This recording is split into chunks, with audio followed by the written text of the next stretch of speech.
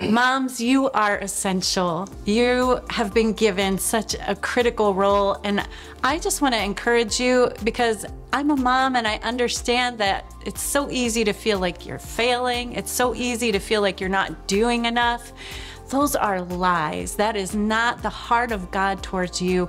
You are a good mom. And the beauty of it is, He knows how to help us mother.